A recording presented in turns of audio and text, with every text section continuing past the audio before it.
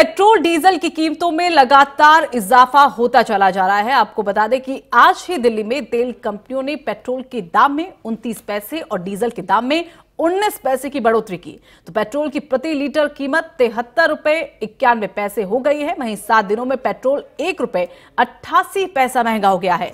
वहीं Indian oil के website के मुताबिक मुंबई में पेट्रोल उनासी रुपए उनतीस पैसे प्रति लीटर से बढ़कर उनासी रुपए सत्तावन पैसे प्रति लीटर में बिक रहा है। चेन्नई की बात की जाए तो छिहत्तर रुपए बावन पैसे से बढ़कर छिहत्तर रुपए तिरासी पैसे पहुँच गया।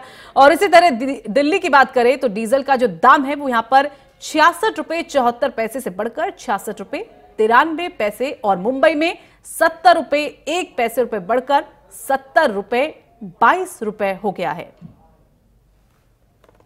तो ये कीमतें लगातार बढ़ती चली जा रही है। सिलसिला जो है, वो लगातार बरकरार है। और आपको बता दें कि पेट्रोल में जहाँ 29 पैसे की बढ़ोतरी हुई है तो वहीं डीजल में 19 पैसे की बढ़ोतरी हुई है। और इसके साथ ही नए आंकड़े जो है, यहाँ पर दिल्ली की बात की जाए, मुंबई की बात की जाए, हर जगह यहाँ पर दाम बढ़ते चले जा रहे हैं।